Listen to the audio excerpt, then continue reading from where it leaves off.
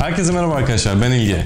Bugün sizlerle Arduino serimize devam ediyoruz. 11. videoda Arduino Süper Başlangıç setine geçmiştik ve bu videoda da Süper Başlangıç setiyle devam ediyoruz. Ve bugünkü videomuzda sizle birlikte servo motor kontrolünü öğreneceğiz. Servo motorun açısını da elimizde bulunan joystick yardımıyla yapacağız. Şimdi isterseniz vakit kaybetmeden projemize geçelim.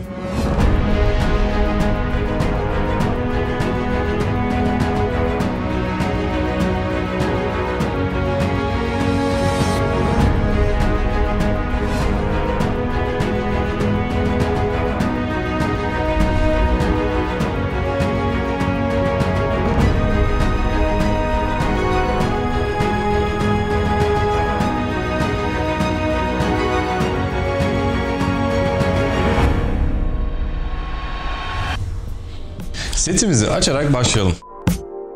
Tabii ki projeleri gerçekleştirmek için her zaman olduğu gibi Arduino Uno'muzu hemen masamızın üstüne koyuyoruz. Arduino Uno'yu programlamak için A'dan B'ye programlama kablosunu kullanacağız. Servo motora derecesini gönderebilmek için bir adet joystick kullanacağız. Bu joystick'in üzerinde 5 tane çıkış var.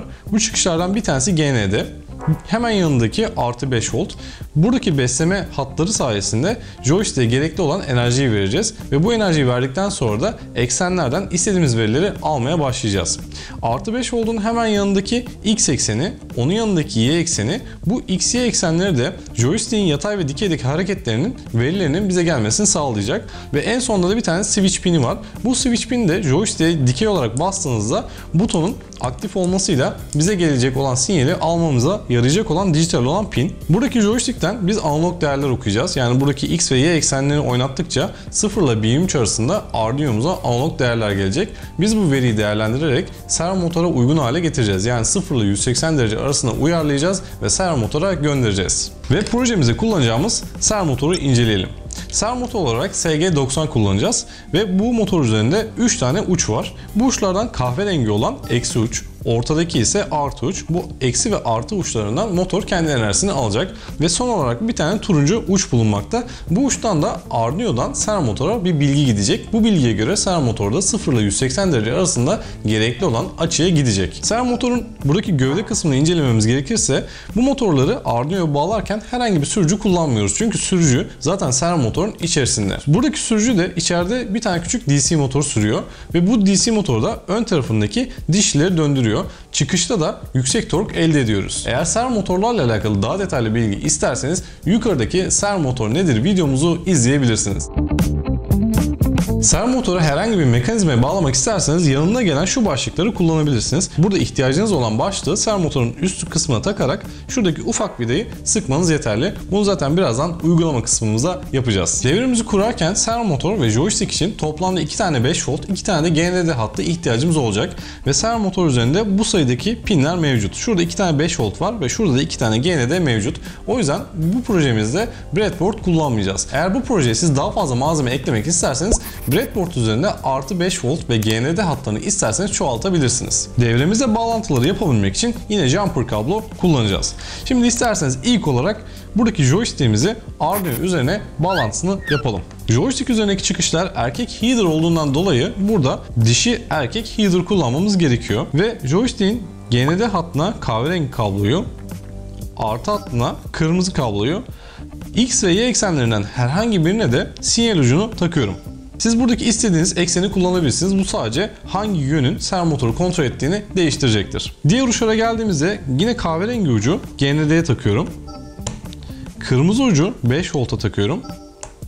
Ve joystick'ten gelen sinyal ucunu da A0 pinle takıyorum. Bu sayede artık joystick'imi Arduino üzerine bağlamış oldum.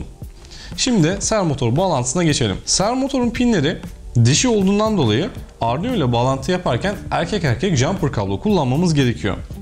Yine ayırt edebilmek için artı hattına kırmızı, eksi hattına gri ve sinyal hattına da beyaz kabloyu bağlıyorum. Bu kablo renklerini istediğiniz gibi bağlayabilirsiniz. Bunlar benim tercih ettiğim kablo renkleri. Burada önemli olan hangi uca hangi kablo rengini bağladığınızı unutmamanız gerekiyor. Servo motorun artı ucunu Arduino'nun 5 voltuna eksi ucunu Arduino'nun GND ucuna ve sinyal ucunda Arduino üzerindeki 3 numaraya bağlayacağım. Servo motoru istediğimiz gibi herhangi bir pine bağlayamıyoruz. Burada PWM pinlerini kullanmamız gerekiyor ve Arduino üzerinde toplamda 6 tane PWM pini var.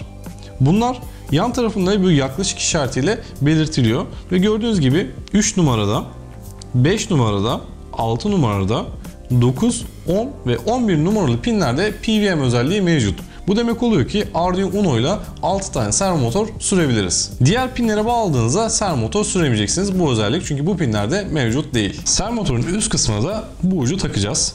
Şu şekilde bastırarak takabilirsiniz. Daha sonra da bu vidalar arasından en küçüğünü seçerek şu üst kısmından sabitleyebilirsiniz. Eğer servo motor dönerken bu sizin istediğiniz yerde değilse servo motoru istediğiniz yere getirip daha sonra başlığı da takabilirsiniz. Devrimizi tamamladık. Şimdi hemen kod kısmına geçebiliriz. Kod kısmına geçtiğimizde yine voice setup ve void loop kısmı bu şekilde kalacak. İçindeki açıklamaları isterseniz silebilirsiniz. Servo motor sürebilmek için servo motor kütüphanesine dahil etmemiz gerekiyor. Bunun için sharp işaretini koyarak başlıyoruz. Daha sonra include servo.h yazmamız yeterli oluyor. Bu sayede artık kütüphaneyi dahil etmiş olduk. Eğer kütüphaneyi daha kolay dahil etmek isterseniz de Sketch kısmından kütüphane dahil et kısmından servo kütüphanesini seçebilirsiniz. Yine aynı şekilde buradaki kütüphaneyi dahil edecektir. Kütüphane dahil ettikten sonra artık bir tane servo motor oluşturmamız gerekiyor ve bizim bu süreceğimiz servo motora motor diyebiliriz. Ve yazılım içerisinde kullanacağımız int değer. Bu değer bizim analog okuduğumuz değer olacak. Ve gelen değeri dereceye çevireceğiz. Buradaki derece değişkenini yazmamız için de yine derece ismine bir değişken tanımlıyoruz. Setup kısmına geldiğimizde servo motor süreceğimiz için motorumuzu yazıp etek komutuyla hangi pine servo motor bağladığımızı belirtiyoruz. 3 numaralı pine biz bağlamıştık. Daha sonra loop kısmına geldiğimizde ise artık kodumuzu yazmamız gerekiyor. Joystick'ten gelen veriyi A0 pininden okuyoruz. O yüzden buraya analog read A0 yazmamız gerekiyor. Gelen veriyi yukarıdaki değer değişkeni içerisine yazdıralım. Yani bu bizim aslında okuduğumuz değer olsun. Değer değişkenini okuduktan sonra artık bunu bizim dereceye çevirmemiz gerekiyor. Bunu da map komutuyla yapacağız. Map komutu çok basit şekilde çalışıyor. İlk olarak hangi değişken üzerinde işlem yapmak istediğinizi belirtiyorsunuz. Biz gelen değer değişkeni üzerinde işlem yapmak istiyoruz ve gelen değer değişkenin limitlerini belirtiyoruz. Bunlardan bir tanesi 0, diğeri ise 1023. Gelen değerin limitlerini yazdıktan sonra çıkış değerimizin limitlerini yazmamız gerekiyor. Bunda da alt limit 0 yani 0 derece, üst limit de 180 derece olarak yazıyoruz. Map komutunun aslında çalışması bu kadar kolay. Gelen değeri çıkış yapmak istediğiniz değeri oranlıyor. Yani bize 1023 geldiğinde bunu 180 olarak kabul edecek. 0 geldiğinde 0 olarak kabul edecek. Eğer 512 yani şurada giriş değerinin yarısı kadar bir değer geldiğinde de bize 90 derecelik bir çıkış verecek. Bu sayede matematiksel işlem yapmadan kolay bir şekilde oranlayabiliyoruz. Ve şimdi map komutuyla birlikte çıkış derecemizi elde ettiğimize göre artık bunu bizim motorumuza yazdırmamız gerekiyor ve bunu da motor.write komutuyla yapacağız. Ve içerisine tabii ki derece değişkenini yazıyoruz. Bu sayede artık joystick'ten gelen analog değeri dereceye çevirdik ve bu dereceyi de motor içerisine yazdırdık ve bu kodumuzu doğru kart ve port seçili olduğunda artık kartımıza upload edebiliriz. Bize tabii ki e, kodu kaydetmemizi istiyor. Kodu kaydettik hemen deneyelim. Gördüğünüz gibi joystick'i oynattığımızda artık servo motorumuza gerekli derecelerde dönüş yapabiliyor. Mesela joystick'i az oynatalım. O da kendisi de az dönecektir. Bu sistemi isterseniz iki tane servo motorla yaparak pantil sistemi yapabilirsiniz. Yani üzerine bir sensör koyup mesela HTS 04 gibi bir sensör koyup veya bir kamera koyup kamerayı istediğiniz yöne yönlendirebilirsiniz. Gördüğünüz gibi devremizi ve kodumuzu çok kolay şekilde tamamladık. Siz de bu şekilde joystick ile servo motoru sürebilirsiniz. Veya servo motor yerine farklı malzemeler bağlayarak onları da joystick yardımıyla kontrol edebilirsiniz. Bu videomuzun da sonuna geldik. Eğer videomuzu beğendiyseniz beğen butonuna basmayı ve bu tür videolardan hemen haberdar olmak için videonun altındaki abone ol butonuna basmayı unutmayın. Yanında çıkan iki bağlantıdan diğer videolarımızı izleyebilirsiniz. Bir sonraki videoda görüşmek üzere. Bye bye.